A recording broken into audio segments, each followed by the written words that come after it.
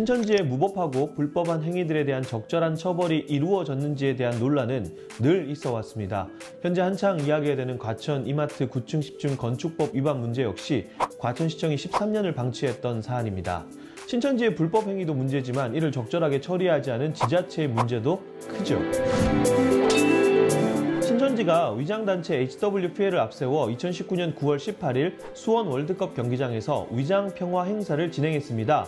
수원 월드컵 경기장 측은 9월 11일 사용허가 목적 외 용도라는 이유로 대관을 취소했는데요. 신천지는 일방적인 결정이라며 경기장을 무단으로 점거하고 행사를 강행했습니다. 이에 수원 월드컵 경기장 관리재단 측은 건조물 침입, 업무 방해 등으로 HWPL을 고소했습니다.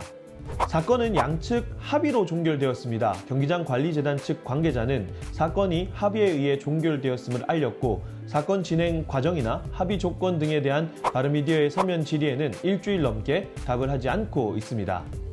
문제는 이 같은 일이 또 있었다는 점인데요. 신천지는 지난 2015년 9월 18일 HWPL을 앞세워 올림픽 평화의 광장을 무단으로 점거했습니다.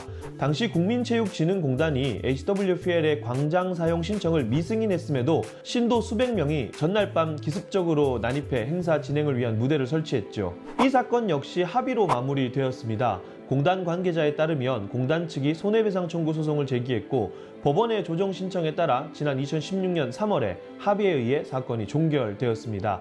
관계자는 재발 방지를 위한 각서와 합의금을 받았다라고 했는데 금액은 알려주기 어렵다고 말했습니다. 신천지의 무법행위로 인한 피해 과연 경기장 관리재단과 국민체육진흥공단만 보았을까요? 당시 현장에 있었던 시민들은 직접적인 피해자였고 위장 행사와 포교로 인한 2차, 3차의 잠재적 피해 요인을 따져본다면 합의라는 판단에 선뜻 동의하기 어렵습니다. 신천지의 무법한 행위를 적절하게 처벌해야 이런 일이 재발하지 않습니다. 관계자들에게 책임감 있는 행동을 기대하는 건 지나친 바람일까요?